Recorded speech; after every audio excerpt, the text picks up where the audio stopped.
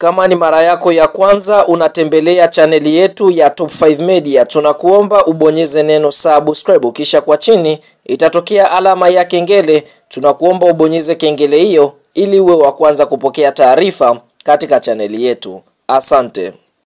Bwana, moja kati ya mchezo mkubwa wa kufuzu kombe la dunia ambao unaendelea muda huu katika uwanja wa Benjamin Mkapa, basi ni mchezo ambao umeikutanisha timu ya taifa ya Tanzania dhidi ya timu ya taifa ya Morocco, ambapo mchezo huu ni mchezo wa kundi E, ambapo tunashuhudia Tanzania huu ni mchezo wao wa pili, huku Morocco wao ukiwa ni mchezo wao wa kwanza katika kundi E, kwa sababu Tanzania waliweza kucheza dhidi ya Niger na kuibuka na ushindi wa bao moja kwa sifuri.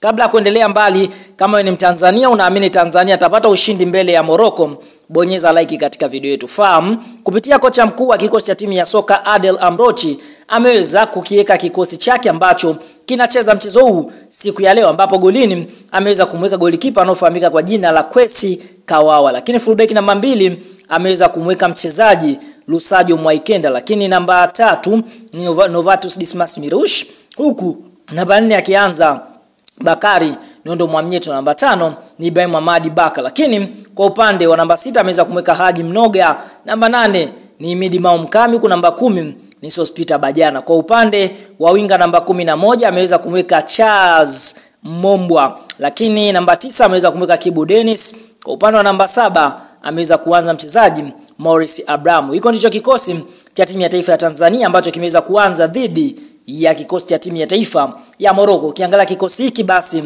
wachezaji wengi ni wadogo na wengi wao bado hawajacheza michezo mingi katika timu ya taifa ya Tanzania. Lakini kwa upande wa wachezaji wa akiba kuna Beno Kakolanya, Aishi Manula, Abdi Banda, Nixon Kibabage, Mudathiri Yaya, Faisal Salum, Dickson Jobu, Simon Msuva, Mateo Anton, Ben Striker, Joshua Mwakasaba, Mbwana Samata. Kwa hiyo tunashuhudia kocha Adel Amroch ameweza kufanya mabadiliko makubwa kutoka katika mchezo wa kwanza ambao Tanzania walicheza dhidi ya Niger na huu ambao siku ya leo wanacheza dhidi ya Morocco, akiamini kwamba damu changa zinaweza kupambana na kuleta kitu katika mchezo huu wa Tanzania dhidi ya Morocco. Eh bwana, mara baada ya kufahamu kikosi hiki, mchezo ambao unaendelea sasa hivi, tuambie kwa upande wako unaitakia Tanzania ushindi wa goli ngapi? Asante kwa kuwa nasi, bye bye.